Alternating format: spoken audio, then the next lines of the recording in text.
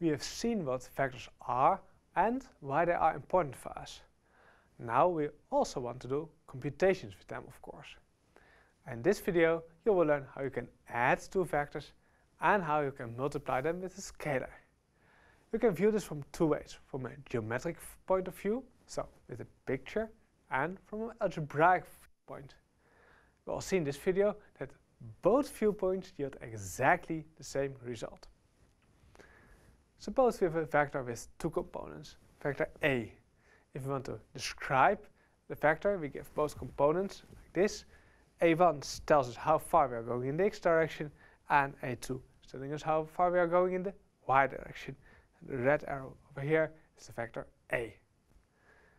How can we add two vectors? So what are we going to do? If we have A and B over here, we make another copy of B I will make another copy of A, so form parallelogram, and an A plus B is just a blue vector over here. So basically you take the tail of B and put it to the head of A, and then you get like this, A plus B. That is how you construct the sum of two vectors. And why exactly in this way? Well, you can view those vectors as displacements. Suppose first you walk along A and then you look, walk along B. Where do you end up? Well, exactly like this in A plus B.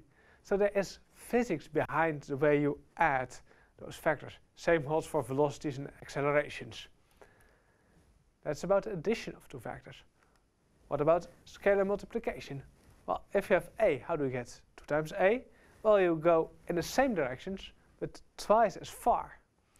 Well, this probably makes also sense because if you uh, uh want to know uh, two times a force, you just have twice the uh, force in the same direction, but twice the amount. Same for minus 1 times a. You just take a and you go exactly in the opposite direction. And if you think a bit of this, this probably also makes sense because you, if you go first along a vector a and then you go along minus a, you are exactly back where you started. So if you would add them up, you end up at the origin again. So that's why you define minus a like this. That's from a geometric viewpoint. But how do you do it algebraically? a plus b.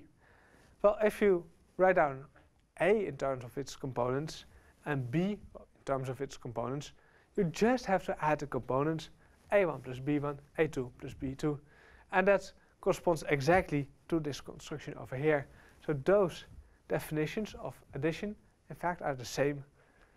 Scalar multiplication, C scalar times vector A, C times A1, A2, you just multiply both components of the vector, which uh, uh, corresponds like here, if you compute 2 times A, you get 2 times A1 and 2 times A2.